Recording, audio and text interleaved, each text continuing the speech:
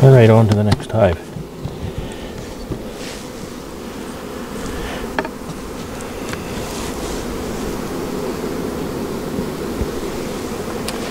Nice and calm.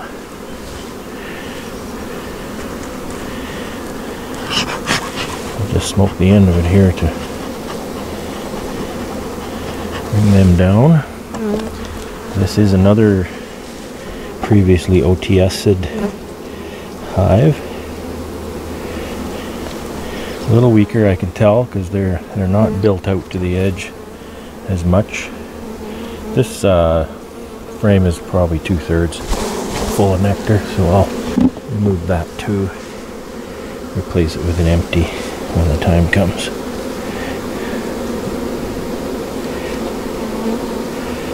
So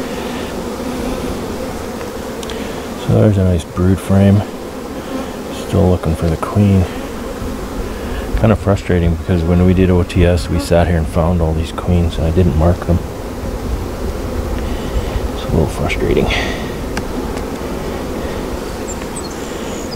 It just makes them far easier to find if they're marked.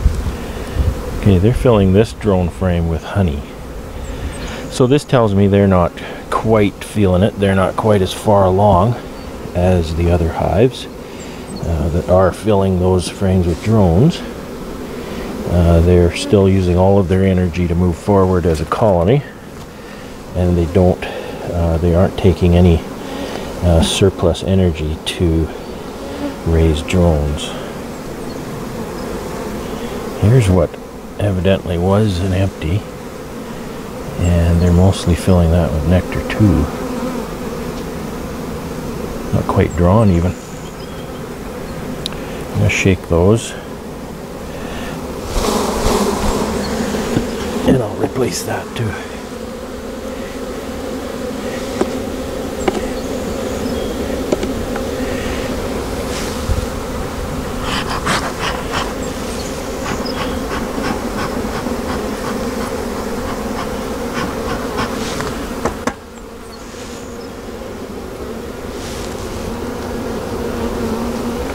So this is nice sealed brood frame. I see young larvae and can't identify eggs in there at this time.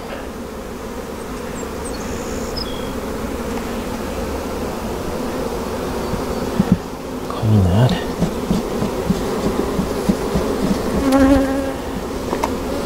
I'm going to move that on the outside as well expand this brood nest. And again, this is not recommended by a lot of people.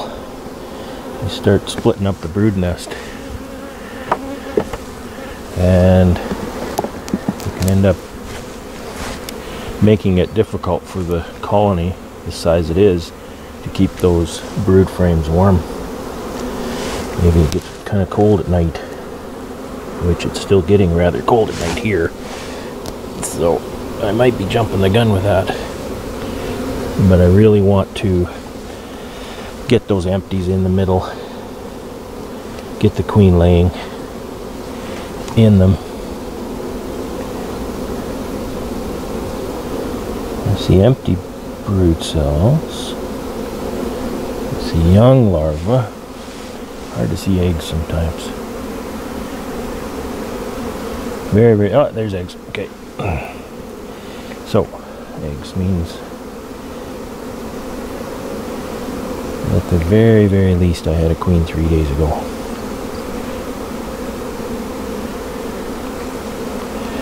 I don't think the queen is on this frame. But there's eggs on that frame, so she's not far away.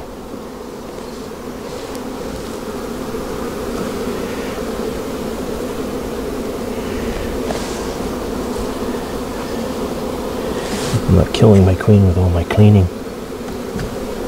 A little bit risky. Fat Bee Man says, scrape the top of the frame. Queen will come up and look over and see what's going on and cut her head off. I guess he's done that before.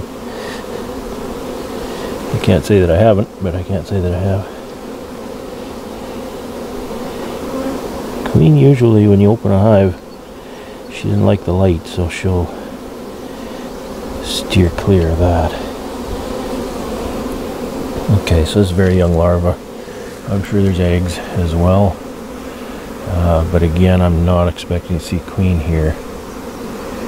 Um, maybe some eggs down in the corner there. Just a couple. So, these mid-frame cups, again, they're I always like to look at them. Boy, if there's a if there's jelly in that, if there's a larva in those, then that tells you something else. A mid-frame cup, you'd be best leave that alone because that is either a supersedure cup cell or a emergency cell. Supersedure cell means that your bees are unhappy with their queen. She's either not laying properly or something. Emergency cell means your queen died. And the brutal truth is, you probably killed her. Doing this, you know. This is always risky. Okay, so this is a fairly open frame. The queen might be on this one. This has a cup here. Again, nothing in it. But you know, if they want to supersede her, they'll make a cup like that and they'll corral her around and make her lay in that cup. And 16 days later, her life is over. Boy, this is an open frame. I see eggs. I see every age. This is the frame I expect to see the queen. So I'm taking a really good look. And I do not see the queen. My buddy laughs at me sitting in my apiary talking to myself. I'm not talking to myself. I'm talking to the nice people on YouTube.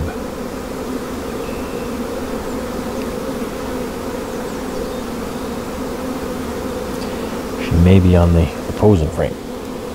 Because I don't see her there.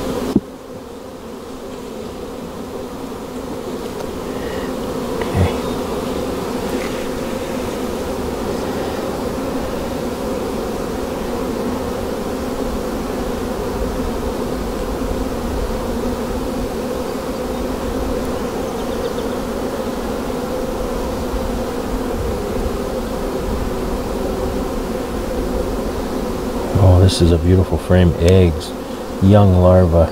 She has laid this up just over the last four days. She's a, a laying machine. So there's a there's a bunch of drone size cells and there's larvae in them too. You know, she's laid this up too. So is she going to be right against the wall again? A lot of my queens are. They're either right out the front or they're way in the back. Oh, there she is. Big black one. Let's see if I can keep my eyes on her while I get my gadget ready. Okay, Queenie. It's hard when there's so many bees around.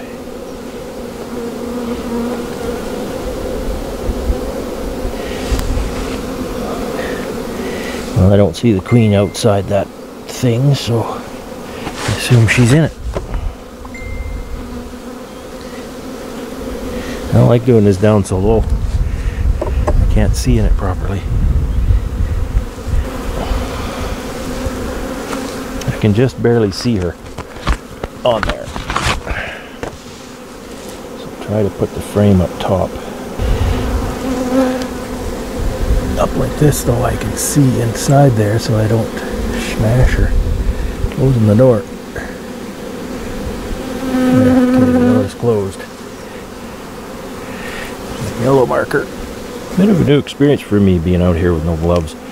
I always work with gloves, and so it's uh, it's different. Feel the bees flying around my hands. Okay, big mama.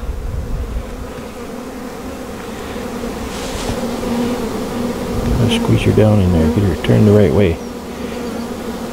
She's really going. Holy smoke, she's fast. Okay, workers, get out of the way. Got her pinned down tight though. She's not moving at all.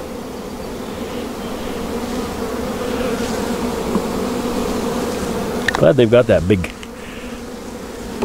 thorax. You can mark. Okay, back to the gloves. Put the frame, put the hive together. Now this is definitely going to get a second. They're doing very, very well. She's out of space to lay. Uh, there's just nectar in that, so I'm going to shake that off. So we can push this brood frame out. Put it empty. Push this brood frame out. Put it empty. Push this one out. Now that's an empty I put in, so we're going to have two empty side by side. I wouldn't have chose it that way, but I guess all things considered, it should be okay. So put this box on here as my second before they crawl up. This will work. And then Queenie can go down in here. You can see her on the sides, open it right up and down she goes. Very nice. I like that gadget. Boy, I recommend that. And then